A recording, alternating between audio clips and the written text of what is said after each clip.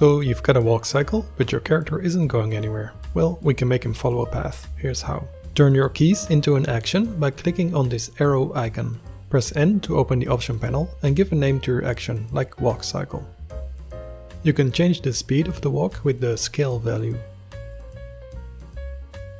The repeat value repeats the action so the character keeps walking. In object mode, create a path and position the character at the beginning. Holding shift, select the armature and the path. Press Ctrl P and choose Path Constraint.